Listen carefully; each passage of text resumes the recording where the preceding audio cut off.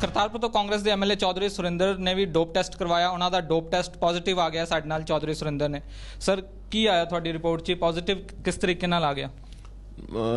ਦੇਖੋ, ਮੈਂ ਕੋਈ ਡਰੱਗਸ ਤਾਂ ਮੈਂ ਕੋਈ ਲੈਂਦਾ ਨਹੀਂ। ਔਰ ਨੰਬਰ 2 ਜੇ ਮੈਂ ਡਰੱਗਸ ਲੈਂਦਾ ਹੁੰਦਾ ਤਾਂ ਮੈਂ ਡੋਪ ਟੈਸਟ ਕਰਾਉਣ ਨਹੀਂ ਜਾਣਾ ਸੀਗਾ। ਤਾਂ ਇੰਨਾ ਜ਼ਰੂਰ ਹੈ ਕਿ ਪਿਛਲੇ ਮਹੀਨੇ ਮੈਂ ਮੈਨੂੰ ਥੋੜੀ ਪ੍ਰੋਬਲਮ ਸੀਗੀ। ਉਹ ਥੋੜੀ ਨੀਂਦ ਦੀ ਪ੍ਰੋਬਲਮ ਸੀਗੀ। ਮੈਂ ਆਪਣੇ ਜਿਹੜਾ ਪਰਸਨਲ ਫਿਜ਼ੀਸ਼ੀਅਨ ਹੈ ਉਹਨੂੰ ਮੈਂ ਕੰਸਲਟ ਕੀਤਾ। ਉਹਨਾਂ ਨੇ ਮੈਨੂੰ ਕੋਈ ਦਵਾਈਆਂ ਦਵਾਈਆਂ ਲਿਖ ਕੇ ਦਿੱਤੀਆਂ। ਔਰ ਉਹਦੇ ਵਿੱਚੋਂ ਮੇਰਾ ਖਿਆਲ ਇੱਕ ਦਵਾਈ ਮੇਰਾ ਖਿਆਲ ਆਈ ਥਿੰਕ 81 ਹੈ, ਜਿਹਦੇ ਵਿੱਚ ਮਤਲਬ ਹੋ ਸਕਦਾ ਉਹ ਚ ਨੀਂਦ ਦੀ ਸ਼ਾਇਦ ਦਵਾਈ ਹੋਵੇ ਜਿਹੜੀ ਮੈਂਟਲ ਰੈਸਟ ਮੈਨੂੰ ਜਾਂ ਰਾਤ ਨੂੰ ਕਿਉਂਕਿ ਪੋਲੀਟੀਸ਼ੀਅਨ ਹੋਣ ਦੇ ਵੇ ਪੋਲੀਟੀਸ਼ੀਅਨ ਫੈਮਿਲੀ ਹੋਣ ਦੇ ਨਾਤੇ ਮਤਲਬ ਬੜੀ ਤਰ੍ਹਾਂ ਦੀਆਂ ਟੈਨਸ਼ਨ ਸਾਰਾ ਦਿਨ ਕੰਮ ਕਾਰ ਇਹ, ਉਹ ਸਵੇਰ ਤੋਂ ਲੈ ਕੇ ਸ਼ਾਮ ਤੱਕ ਨੱਠ ਭਜਾਈ। ਕਈ ਵਾਰੀ ਨੀਂਦ ਨਹੀਂ ਚੰਗੀ ਆਉਂਦੀ, ਮਤਲਬ ਉਹ ਮੈਂ ਮਤਲਬ ਥੋੜੀ ਸੀਗੀ ਮੈਨੂੰ ਪ੍ਰੋਬਲਮ ਤਾਂ ਡਾਕਟਰ ਸਾਹਿਬ ਨੇ ਮੈਨੂੰ ਦਵਾਈਆਂ ਲਿਖ ਦਿੱਤੀਆਂ, ਉਹ ਮੈਂ ਦਵਾਈਆਂ ਖਾ ਰਿਹਾ ਸੀਗਾ। ਤਾਂ ਇਨ ਦਾ ਮੀਨ ਟਾਈਮ ਸਾਰੇ ਡੋਪ ਟੈਸਟ ਕਰਾ ਲਏ ਤੇ ਮੈਂ ਵੀ ਜਾ ਕੇ ਡੋਪ ਟੈਸਟ ਕਰਾ ਲਿਆ ਤਾਂ ਉਹ ਉਹਦੇ ਵਿੱਚ ਕੋਈ ਇਦਾਂ ਦੀ ਕੋਈ ਡਰੱਗ ਦਾ ਨਹੀਂ ਉਹ ਜਿਹੜੀ ਮੈਨੂੰ ਉਹਨਾਂ ਨੇ ਮੈਡੀਸਨ ਦਿੱਤੀ ਸੀ ਨਾ ਉਹ ਉਹਦੀ ਜਿਹੜੀ ਸੀਗੇ ਨਾ ਉਹਦੇ ਉਹਦੇ ਜਿਹੜੇ ਸਾਇੰਸ ਆ ਉਹਦੇ ਵਿੱਚ ਆਏ। ਉਹਦੇ ਕਰਕੇ ਥੋੜਾ ਪੋਜ਼ਿਟਿਵ ਆਇਆ। ਬਿਲਕੁਲ। ਕਰਵਾਇਆ ਕਿੱਥੇ ਡੋਪ ਟੈਸਟ ਤੁਸੀਂ? ਸਿਵਲ ਹਸਪੀਟਲ ਹਾਂ ਜਲੰਧਰ ਜਲੰਧਰ ਹਾਂ। ਉਹਦੇ 'ਚ ਇੱਕ ਇਹ ਵੀ ਕਾਲਮ ਹੁੰਦਾ ਕਿ ਤੁਸੀਂ ਕਿਸੇ ਤਰੀਕੇ ਦੀ ਮੈਡੀਸਿਨ ਤਾਂ ਨਹੀਂ ਲੈ ਰਹੇ ਜੋ ਕਿ ਉਹਦੇ 'ਚ ਆ ਸਕਦਾ ਹੈ। ਉਹ ਤੁਸੀਂ ਭਰਿਆ ਸੀ ਉਹਦੇ 'ਚ? ਨਹੀਂ ਮੈਂ ਭਰਿਆ ਨਹੀਂ ਮੈਂ ਉਦੋਂ ਮੈਂ ਦੱਸਿਆ ਸੀ ਮੈਂ ਕਿਹਾ ਮੈਡੀਸਨ ਮੈਂ ਲੈਂਦਾ। ਮੈਂ ਪਹਿਲਾਂ ਲਿਆ ਉਹ ਕਹਿੰਦਾ ਕੋਈ ਗੱਲ ਨਹੀਂ ਮੈਡੀਸਨ ਲੈਂਦਾ ਤਾਂ ਕੋਈ ਗੱਲ ਨਹੀਂ। ਉਹ ਦੱਸਿਆ ਸੀ ਮੈਂ ਮੈਡੀਸਨ ਲੈਂਦਾ। ਮਤਲਬ ਕਿ ਇੱਕ ਤਰੀਕੇ ਨਾਲ ਅਸੀਂ ਇਹ ਕਹਿ ਸਕਦੇ ਹਾਂ ਕਿ ਉਹ ਨੀਂਦ ਦੀਆਂ ਗੋਲੀਆਂ ਜਾਂ ਨੀਂਦ ਆਉਣ ਵਾਸਤੇ ਗੋਲੀਆਂ ਉਹ ਕੀ ਚੀਜ਼ ਹੈ? ਨੀਂਦ ਇਹ ਆ ਕਿ ਮੈਂਟਲ ਰੈਸਟ ਵਾਸਤੇ ਨਾ ਕਿ ਰਾਤ ਨੂੰ ਬੰਦਾ ਸੌਵੇਂ ਤਾਂ ਮਤਲਬ ਉਹਨੂੰ ਪੂਰਾ ਆਰਾਮ ਮਿਲ ਜਾਵੇ ਬਸ। ਹਾਂ ਇੰਨੀ ਸੀ ਗੱਲ ਹਾਂ। ਇਹ ਜਿਹੜਾ ਪੂਰਾ ਡੋਪ ਡੋਪ ਟੈਸਟ ਦਾ ਸ਼ੁਰੂ ਹੋ ਗਈ ਸਿਆਸਤ ਸ਼ੁਰੂ ਹੋ ਗਈ ਵੈਸੇ ਤਾਂ ਮਸਲਾ ਤਾਂ ਕੋਈ ਹੋਰ ਚੱਲ ਰਿਹਾ ਸੀ ਕਿ ਨਸ਼ੇ ਤੇ ਕੰਟਰੋਲ ਹੋਣਾ ਚਾਹੀਦਾ ਪਰ ਇਹ ਡੋਪ ਟੈਸਟ ਤੁਹਾਨੂੰ ਕੀ ਲੱਗਦਾ ਇਹ ਪ੍ਰੋਸੀ- ਹਾਲਾਂਕਿ ਤੁਸੀਂ ਵੀ ਇੱਕ ਰੁਕ ਜਾਓ ਤੁਸੀਂ- ਵੀ ਹਾਲਾਂਕਿ ਕਰਵਾ ਲਿਆ ਡੋਪ ਟੈਸਟ ਪਰ ਤੁਹਾਨੂੰ ਕੀ ਲੱਗਦਾ ਹੈ ਕਿ ਇਹ ਪੂਰਾ ਪ੍ਰੋਸੀਜਰ ਕੀ ਹੈ? ਮਤਲਬ ਕੀ ਸਾਬਿਤ ਕਰਨਾ ਚਾਹੁੰਦੇ ਲੀਡਰ ਕਿ ਅਸੀਂ ਨਹੀਂ ਕਰਦੇ ਬਾਕੀ ਵਿਕਦਾ ਹੈ ਉਹ ਇੱਕ ਅਲੱਗ ਮਸਲਾ ਹੈ। ਇਹ ਸਿਸਟਮ ਕੀ ਸੀ? ਕੀ ਸੋਚ ਕੇ ਸ਼ੁਰੂ ਕਰ ਦਿੱਤਾ? ਹਮ, ਇਹ ਤਾਂ ਹੁਣ ਜੋ ਸੀ ਜਿੱਦਾਂ ਚੱਲਦਾ ਇਹ ਤਾਂ ਹੁਣ ਸਾਰੇ ਟੈਸਟ ਕਰਾਉਂਦੇ ਸੀ ਤਾਂ ਮੈਂ ਵੀ ਕਰਵਾ ਲਿਆ। ਬਾਕੀ ਪਿਛਲੇ 10 ਸਾਲਾਂ ਜਿਹੜਾ ਜਿਨ੍ਹਾਂ ਨੇ ਨਸ਼ੇ ਵੇਚੇ ਆ ਜਿਨ੍ਹਾਂ ਨੇ ਲਾਏ ਆ ਨਸ਼ੇ ਪੰਜਾਬ 'ਚ ਜਿਨ੍ਹਾਂ ਨੇ ਨਸ਼ੇ ਦਾ ਕੰਮ ਕੀਤਾ ਉਹ ਤਾਂ ਸਾਰੀ ਦੁਨੀਆ ਨੂੰ ਪਤਾ ਹੀ ਆ। ਹੁਣ ਕੈਪਟਨ ਸਾਹਿਬ ਦੀ ਸਰਕਾਰ ਆਈ ਉਹ ਤਾਂ ਨਸ਼ੇ ਉਹਨਾਂ ਨੇ ਦੂ- ਹਟਾਏ ਹੀ ਆ।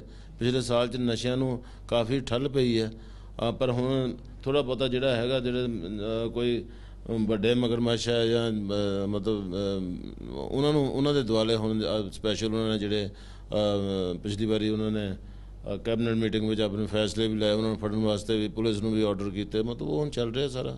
ਔਰ ਅਦਰਵਾਈਜ਼ ਮਤਲਬ ਸਿਆਸਤ ਤਾਂ ਕੋਈ ਨਹੀਂ ਡਰੱਗਸ ਤੇ ਸਿਆਸਤ ਡਰੱਗ ਤੇ ਸਿਆਸਤ ਕਰਕੇ ਤਾਂ ਡਰੱਗਸ ਦੇ ਵਾਸਤੇ ਤਾਂ ਅੱਜ ਡਰੱਗਸ ਦੇ ਮੁੱਦੇ ਤੇ ਤਾਂ ਕਾਂਗਰਸ ਦੀ ਸਰਕਾਰ ਬਣੀ ਅੱਜ ਇਹ ਜਿਹੜਾ ਇਲੈਕਸ਼ਨ ਤੇ ਬਹੁਤ ਵੱਡਾ ਇਸ਼ੂ ਸੀ। ਹੁਣ ਤੁਸੀਂ ਇਹ ਦੱਸੋ ਕਿ ਕਰਤਾਰਪੁਰ ਪੂਰਾ ਰੂਰਲ ਏਰੀਆ ਹੈ। ਇੱਥੇ ਕਿੰਨਾ ਕੁ ਡਰੱਗਸ ਹੈ? ਹੁਣ ਸਾਲ ਡੇਢ ਸਾਲ ਹੋ ਗਿਆ। ਡੇਢ ਸਾਲ ਪਹਿਲਾਂ ਕਿੰਨਾ ਸੀ? ਹੁਣ ਕਿੰਨਾ ਹੈ? ਕੀ ਅੰਦਾਜ਼ਾ? ਕੀ ਹੈ ਤੁਹਾਡਾ? ਕਰਤਾਰਪੁਰ ਵਿੱਚ ਤਾਂ ਬਿਲਕੁਲ ਮਤਲਬ ਡਰੱਗਸ ਜਿਹੜੀਆਂ ਇਦਾਂ ਦੀ ਕੋਈ ਗੱਲ ਹੈ ਨਹੀਂ। ਕੋਈ ਇੱਕਾ ਦੁੱਕਾ ਨਾਲ ਦੇ ਜਿਹੜੇ ਹਲਕੇ ਆ ਨਾ, ਉੱਥੋਂ ਲੋਕ ਆ ਕੇ ਕਰਤਾਰਪੁਰ ਚ ਮੈਨੂੰ ਪਤਾ ਲੱਗਾ ਕਿ ਮਾੜਾ ਮੋਟਾ ਕੋਈ ਕੰਮ ਚੱਲਦਾ। ਅਦਰਵਾਈਜ਼ ਦੜਾ, ਸੱਟਾ, ਜੋ ਵੀ ਪਹਿਲਾਂ ਕੋਈ ਲੋਟਰੀਆਂ ਸੀਗੀਆਂ ਇਦਾਂ ਦੇ ਕੰਮ ਸੀ ਜਿਨ੍ਹਾਂ ਨਾਲ ਜਿਹੜੇ ਬੰਦੇ ਸੀਗੇ, ਆਪਣੇ ਸਾਰਾ ਦਿਨ ਦੀ ਕਮਾਈ ਜਿਹੜੀ ਰਾਤ ਨੂੰ ਲੋਟਰੀਆਂ 'ਚ ਖਰਾਬ, ਬਰਬਾਦ ਕਰਕੇ ਚਲੇ ਜਾਂਦੇ ਸੀਗੇ। ਉਹ ਇਦਾਂ ਦਾ ਕੋਈ ਕੰਮ ਹੀ ਹੈ ਨਹੀਂ। ਕਿਉਂਕਿ ਪਹਿਲਾਂ ਜਿਹੜੇ ਲੋਕ ਸੀ, ਉਹ ਜਿਹੜੇ ਆਪ ਜਿਹੜੇ ਰਾਜ ਕਰਦੇ ਸੀਗੇ, ਉਹੀ ਸਾਰੇ ਕੰਮ ਕਰਵਾਉਂਦੇ ਸੀਗੇ। ਹੁਣ ਸਾਡੇ ਵਿੱਚ ਤਾਂ ਇਦਾਂ ਦਾ ਕੋਈ ਹੈ ਹੀ ਨਹੀਂ ਜਿਹੜਾ ਆਪ ਮਤਲਬ ਇਦਾਂ ਦੇ ਕੰਮ ਕਰਵਾਵੇ। ਔਰ ਇਸ ਵੇਲੇ ਮਤਲਬ ਸਾਡੇ ਕਰਤਾਰਪੁਰ ਵਿੱਚ ਤਾਂ ਬਿਲਕੁਲ ਡਰੱਗਸ ਮਤਲਬ 90% ਤਾਂ ਉੜ ਗਏ ਆ, ਕੋਈ 10% ਮਾੜਾ ਮੋਟਾ ਹੋਊਗਾ ਵੀ ਆਉਣ ਵਾਲਾ ਟਾਈਮ ਛੁੱਟ ਜਾਊਗਾ। ਹੁਣ ਇਸ ਜਿਹੜੇ ਪੂਰੀ ਪੂਰਾ ਮਾਮਲਾ ਹੋਇਆ ਲਗਾਤਾਰ ਕਈ ਮੌਤਾਂ ਹੋ ਗਈਆਂ ਨਸ਼ੇ ਤੇ ਉਸ ਤੋਂ ਬਾਅਦ ਫਿਰ ਇੱਕ ਵਾਰੀ ਚਰਚਾ 'ਚ ਆ ਗਿਆ। ਤੇ ਇਸ ਪੂਰੇ ਮਾਮਲੇ 'ਚ ਅਕਾਲੀ ਦਲ ਦਾ ਜਿਹੜਾ ਸਟੈਂਡ ਹੈ ਉਹ ਅਕਾਲੀ ਦਲ ਨੇ ਕਿਹਾ ਕਿ ਅਸੀਂ ਵੀ ਨਸ਼ਿਆਂ ਦੇ ਖਿਲਾਫ ਖੜੇ ਹਾਂ। ਤੇ ਹਾਲਾਂਕਿ ਉਹਨਾਂ ਵੱਲੋਂ ਕੋਈ ਡੋਪ ਟੈਸਟ ਕਰਵਾਉਣ ਨਹੀਂ ਆਇਆ।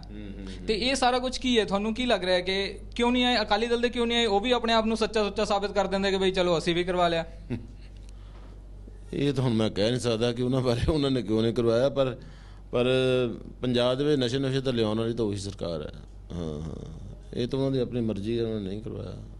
ਮਤਲਬ ਜਿਹੜਾ 10 ਸਾਲ ਨਸ਼ਾ ਹੈ ਉਹ ਅਕਾਲੀ ਦਲ ਦੇ ਜਿਹੜੇ 10 ਸਾਲ ਸੀ ਉਸੇ ਦੌਰਾਨ ਆਇਆ। ਉਸੇ ਦੌਰਾਨ। ਹਾਂ ਉਸੇ ਦੌਰਾਨ ਹੀ ਆਇਆ। ਉਸੇ ਦੌਰਾਨ ਹੀ ਆਇਆ।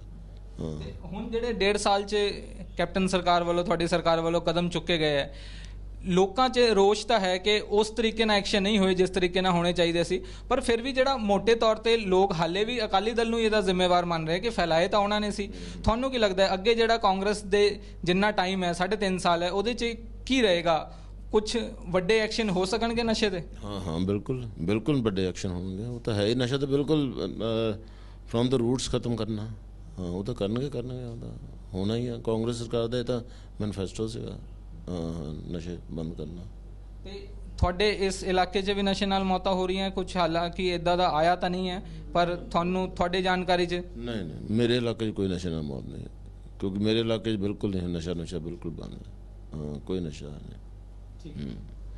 ਇਸਨ ਚੌਧਰੀ ਸੁਰਿੰਦਰ, ਇਹਨਾਂ ਦਾ ਜਿਹੜਾ ਡੋਪ ਟੈਸਟ ਪੋਜ਼ਿਟਿਵ ਆਇਆ ਹੈ, ਇਹਨਾਂ ਨੇ ਕਿਹਾ ਹੈ ਕਿ ਕੁਝ ਜਿਹੜੀ ਮੈਡੀਸਿਨ ਹੈ, ਜਿਹੜੀ ਡਾਕਟਰਾਂ ਵੱਲੋਂ ਲਿਖੀ ਗਈ ਸੀ ਮੈਂਟਲ ਰੈਸਟ ਵਾਸਤੇ, ਉਸ ਕਰਕੇ ਪੋਜ਼ਿਟਿਵ ਆ ਗਿਆ ਹੈ ਤੇ ਇਹ ਕਿਸੇ ਤਰੀਕੇ ਦਾ ਕੋਈ ਨਸ਼ਾ ਨਹੀਂ ਲੈਂਦੇ ਤੇ ਇਹਨਾਂ ਦੇ ਇਲਾਕੇ 'ਚ ਇਹਨਾਂ ਦਾ ਕਹਿਣਾ ਹੈ ਕਿ 90% ਤਾਂ ਕੰਟਰੋਲ 'ਚ ਹੈ 10% ਅਗਰ ਨੇੜੇ ਤੇੜੇ ਦੇ ਇਲਾਕਿਆਂ 'ਚ ਹੋਏਗਾ ਤੇ ਹੋ ਸਕਦਾ ਹੈ ਤੇ ਬਾਕੀ 3.5 ਸਾਲ 'ਚ ਕਾਂਗਰਸ ਸਰਕਾਰ ਨਸ਼ੇ ਨੂੰ ਪੂਰੀ ਤਰ੍ਹਾਂ ਖਤਮ ਕਰੇਗੀ। ਇਹਦੇ ਲਈ ਸਰਕਾਰ ਵਚਨਬੱਧ ਹੈ।